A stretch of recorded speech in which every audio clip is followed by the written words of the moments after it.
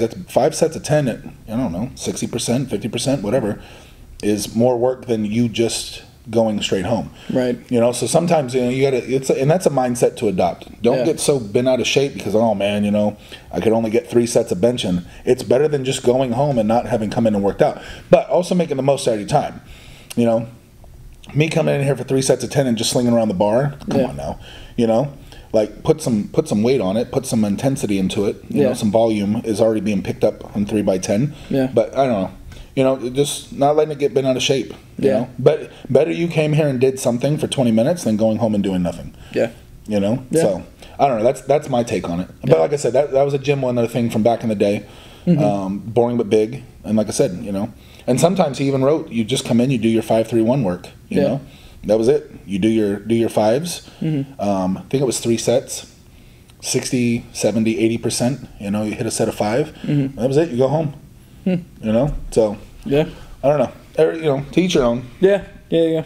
i don't know we're rolling what are we doing All we right. are? Hey. all right Are you sure? I heard it click. We, let me double check. We are rolling. Yeah.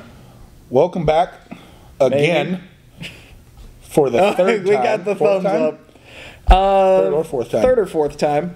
Uh, oh shit! I gotta get. It's fact over fitness, brother, brother. So I gotta get my shit out. Here it is. nice. All right. We are on it today. Yeah, we are, man. Got that early morning energy. Let me tell you. Um, shout out to our producer Jody. He's doing good work today. Good job, dude. Um, Only f- once. Much, much appreciated. absolute, but hey, it- Behind, behind the scenes that gets this thing going. and Yeah. Keeps it going. Absolutely. I tell you what, man, like as someone who does the behind the scenes regularly, like that's my day job is do the behind the scenes work. I much prefer having someone else do it. and you do a great job. But now it's time for Fact Over Fitness, brought to you by should we do a real sponsor this time? I was gonna say we've done we've done bullshit sponsors. Let's do a real one. Lady Juice Beard Oil. That's right. Here we go. Zoom in on this bad boy right here. Lady Juice Beard Oil and Beard Balms are the best beard oil and balms for you. You have a beard, you want it to look glistening, delicious, beautiful, smell amazing. How do you do it? Use this company right here. All right. I have Pound Town, which is my smell flavor of choice. It's kind of a flavor. I mean, it gets it s- gets in your mouth. I say flavor uh, just because of uh, you know habit, but scent profile, whatever. Yeah. Uh, but I say flavor. Absolutely. It smells great. It is made without any of the weird chemical-y stuff. It, it is just it is natural ingredients and I have to tell you when I first started with a mustache, it was wiry, it was it was rough, it, it wasn't it wasn't good. I've started to use Lady Juice beard balms and it has softened it. It is now something that is comfortable on my face. Um, so definitely highly recommend Lady Juice beard oils and beard balms. And I'm not a beard balm fan because this is okay. So this is gonna sound funny because I made this shit. I don't like getting it on my hands, so I'm very picky about balm. Uh-huh. Um, and I haven't found like rubber gloves or uh, the, the the popsicle sticks to smear it in. So I'm like, you know Yeah. what, fuck it, get your hands dirty. Yeah. But um, I I am a balm fan. yeah. Yeah, I just I don't like getting my hands dirty, so I'm kind of like fuck it, I won't use it. Yeah. But when I do use it, absolutely that that whole hold down. Mm-hmm. It's not like a face helmet, but it the what you just talked about. That's the whole reason we made it, and the ingredients we have in it is to soften your your face mane. You know. So anyway, I did it last week. you gotta do it again. I do it again. Yeah, it's it's one of my favorite scents. I say it every time. Oh yeah! Woo! Sorry, audio guy. and the whole reason I created it was to get that type of reaction out of ladies. I'm spike his. Shit. not not a sausage festival of three dudes in a closed down gym for a podcast. Hey, so you know, I've thought about this for a while. When you come to a gym and you want to look better, the first, the, your main thought, as for me as a straight man, is I want women to look at me and go, "Damn, he's hot." You know what has happened? I've had guys come up to me and say, "Damn, you look good." hundred percent, It's it's what happens. hundred percent. I had this talk with a friend of mine. Yeah. Uh, this is also going back to um, an old documentary uh, Greg Valentino talked about you know when we get into either bodybuilding or the powerlifting. Yeah. You know, as guys, we're like, oh, you know, this is them doing this for the ladies. Yeah, the ladies are gonna love Ain't a single fucking lady gives a shit. fucking lady has thrown her wet panties at you because of your squat number. Like, I've never been thunked in the fucking face with wet panties because she finds out what I squatted.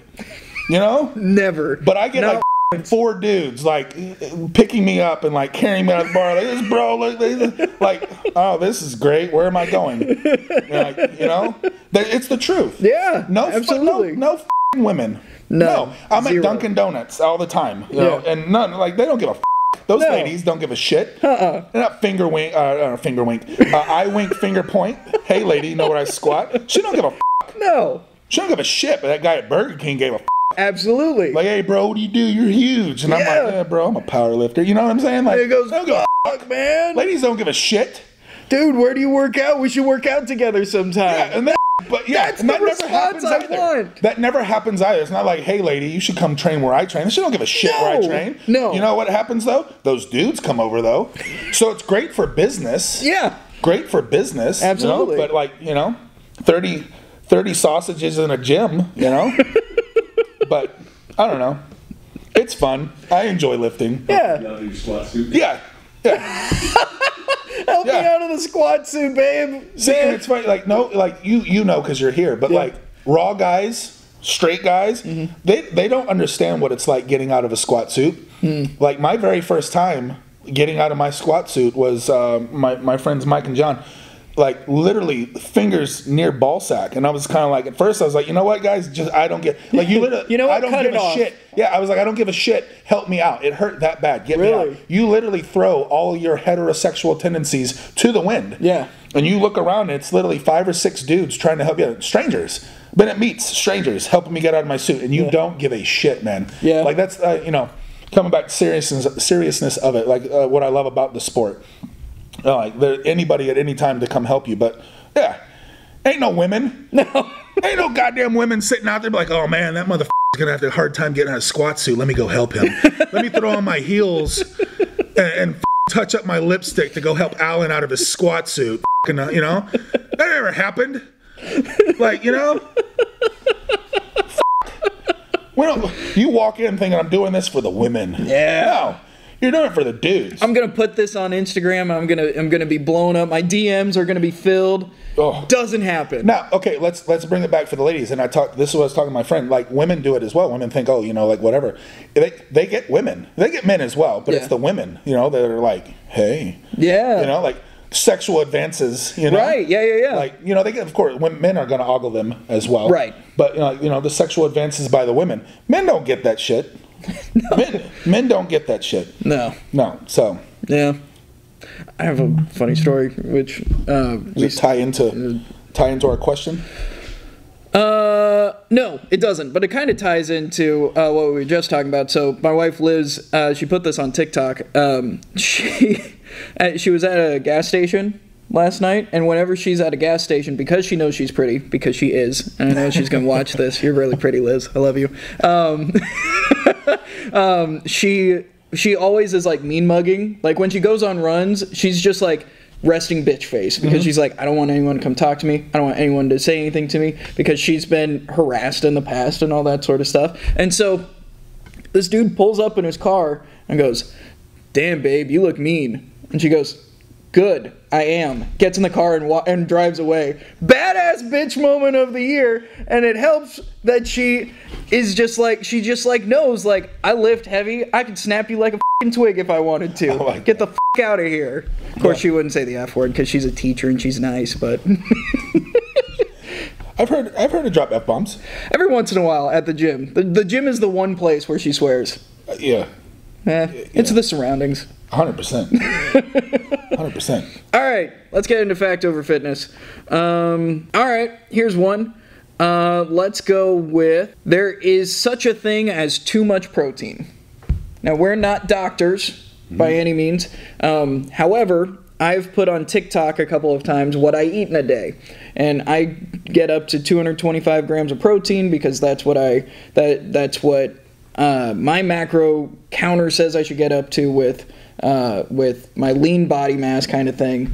Um, words are hard, Mm-hmm. but yeah, I know, I know what you're saying. yeah, I know what you're saying. How do I explain it to them? I feed the muscle that I have, and I'm trying to grow some as well. So I go. Mm-hmm. So you eat protein. I so I eat uh, one pound, one gram of protein per lean pound of mass, essentially. And that, that, now, when you're branching off of that, when you can talk lean, you can talk total body. Um, Right.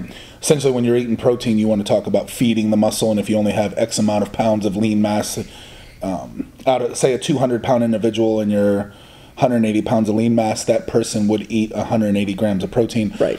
Another school of thought is that person weighs 200 pounds, so we're going to eat 200 grams because you know pound or gram per pound. Right. So there's some different thoughts on that as well. Absolutely. Um, pounds because this is America. Um, right. for the th- Fuck you, metric system. yeah. Oh, I was going to say for the three countries that use the standard system. Yeah. Um, and then if you look at the math on the kilo system, it it actually averages out. Pull your calculator up because I can't do it in my head. But I think they tell you it's like pound pound per kilogram, so it comes out to like 2.2 and Yeah. a gram, whatever it is. But like everybody gets like up in a up in a fit about it because it's like oh you know gram per pound is too much. But then the, when you go and do the math on the kilo, it's the same thing. Like, Oh, the yeah. number comes out the same exact. That's why I can't remember if it's a half pound per kilo. I think that's going to be wrong. 2.2046. You Yeah. haven't you haven't told me any math to do. But what I'm saying, so if we do 200, do 200 pounds divided by 200 divided two point two. Two point two. 90. you weigh 90 kilos. Yeah. So that person is going to have, um, I think I can't remember what the math is on the kilos. Do it, do it times like 1.8. 163. Okay, and then if you do that same 200 pound person, obviously is going to be 200 because that's easy. Right. What are, what I'm getting at is like when these people get into a fit over the kilo kilo conversion for protein. Yeah. It comes out to the same fing number Right. the pounds. Or at least close enough. Very, yeah. So you know, um, and sometimes you'll 0.8, 0.8 grams per pound. So um, there's there's math, you know, that, that you have to do, and none of it is set in stone. Um, I'm just bringing this up because I like it. I like when they argue kilos to pounds, and I'm like, it's the same. It's a- it's the same amount of protein. Same thing, bro. Yeah, you just did different math to get there. So Yeah. anyway, that's why I got into that rant. Yeah, yeah, But yeah. back to the initial question about what you what you eat, you know, what, what whatever your body weight is, and you're Right. eating a gram per pound.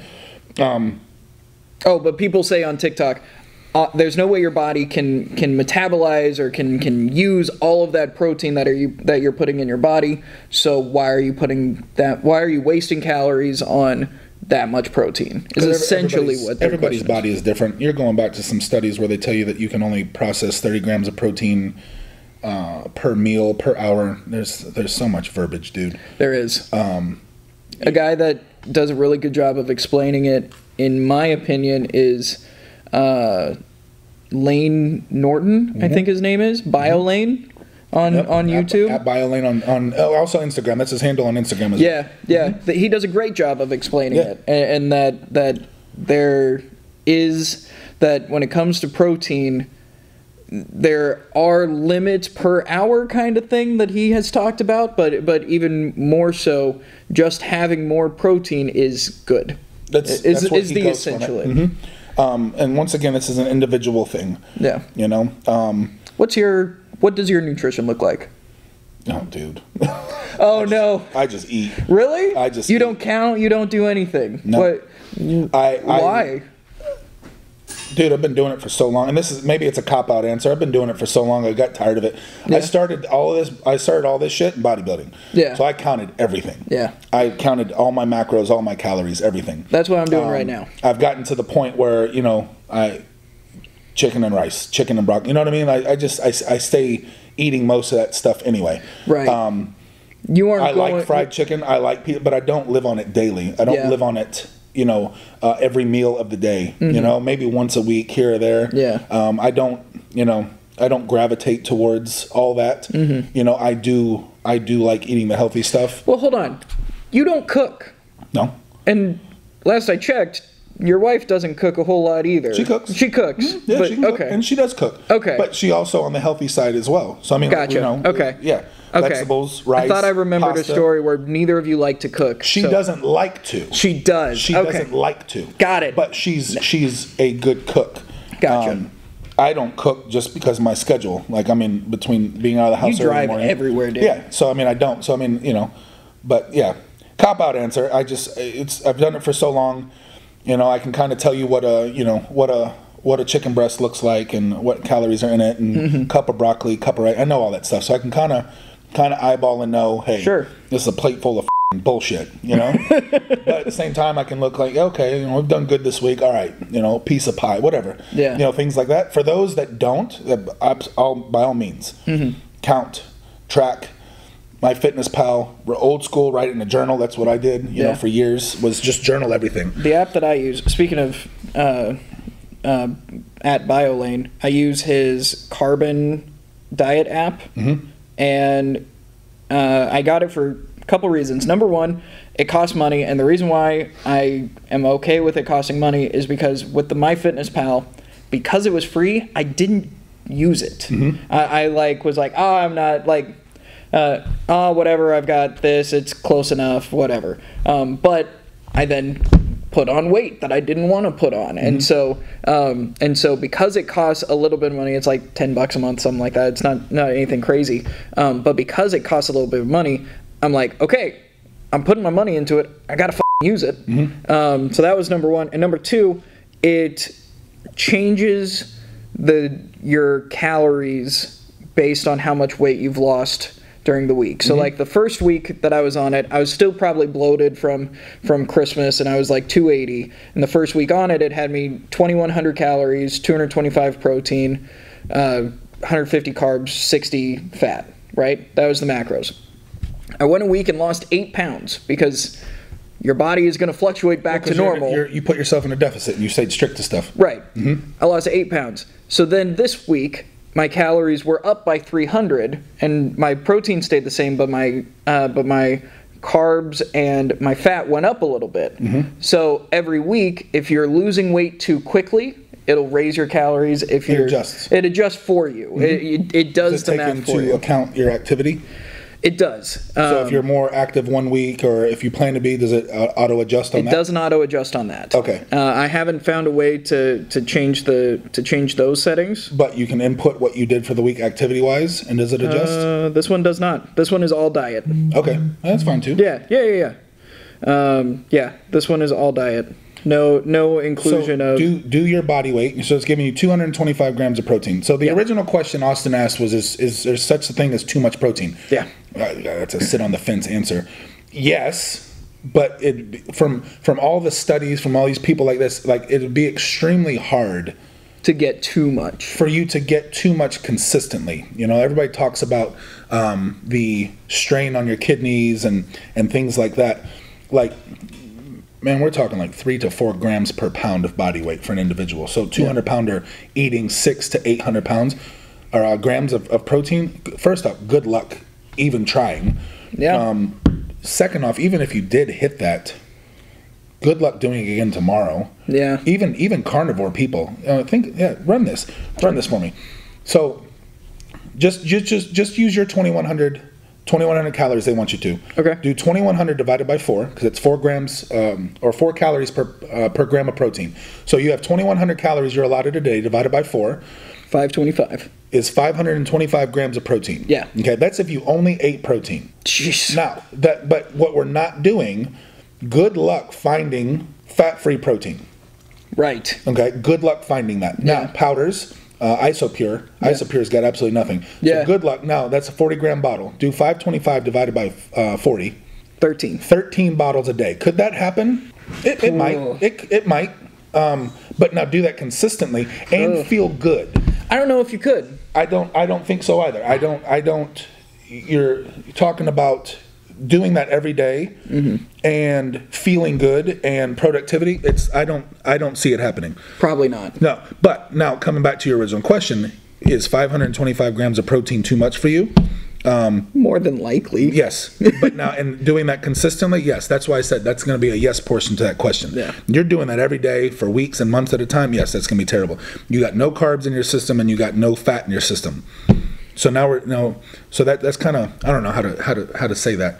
That's like a two two pronged two pronged question. It's not healthy Right. okay because you have nothing else in your body and Yeah. now like the sustainability what happens when you go back and you leave that 525 grams of protein and have a carb? Like, what happens to your body? Ooh. You know, mm. probably an orgasm.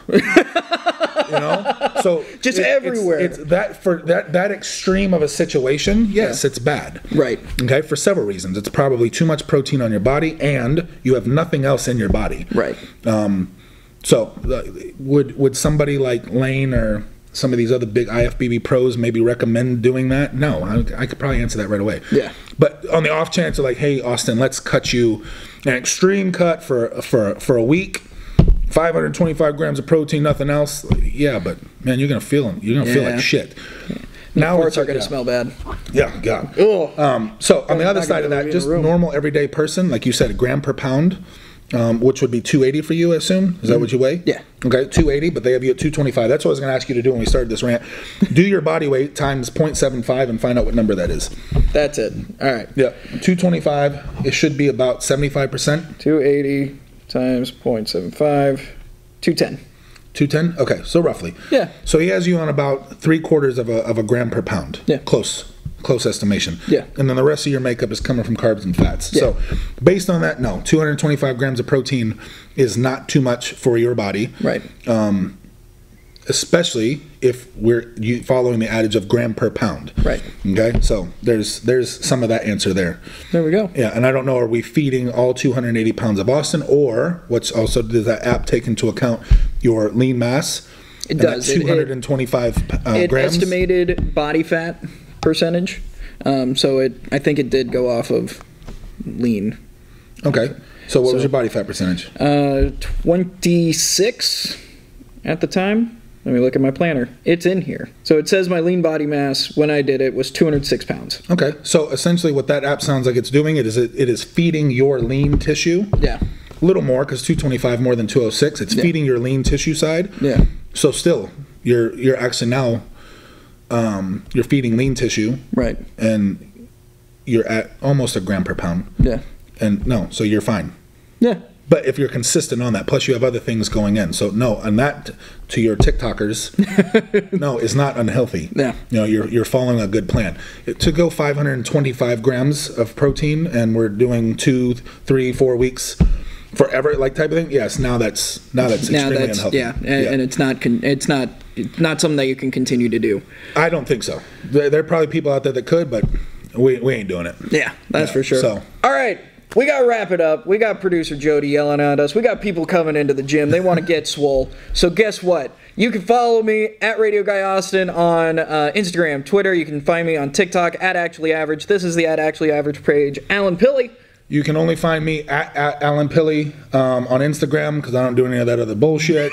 and uh, until next week, motherfuckers. That's right. See y'all.